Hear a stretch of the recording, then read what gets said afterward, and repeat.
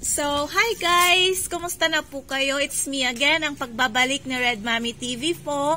So, uh, update-update lang po tayo about sa aking maliit pa ring sari-sari store. Napalugi na po pero lumalaban pa rin. Parehas mo ng aking YouTube channel na hindi pa rin po mamoni-monetize sa tinagal-tagal na po. So, update lang po ako. At kanina nga, nag-grocery po ako dito sa amin, National Bazaar.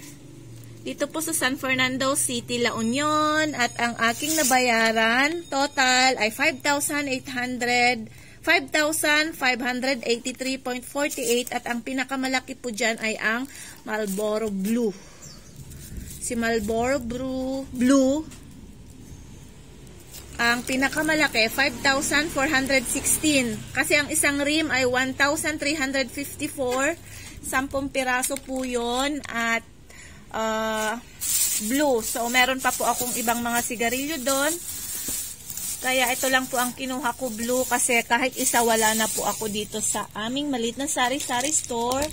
At super thankful po ako kasi every tatlong kaha po ay may palit or may free na uh, Copico Blanca.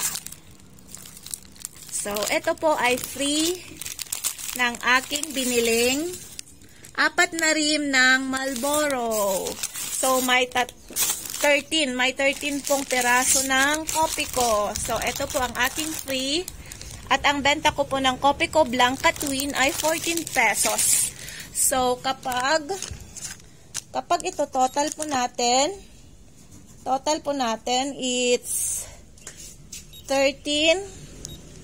13 times 14 ay may 182 pesos na po tayong uh, karagdagang tubo.